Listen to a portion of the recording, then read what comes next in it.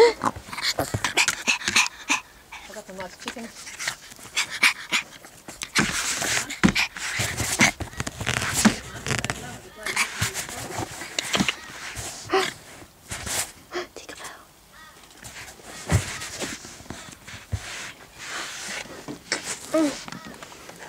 Right?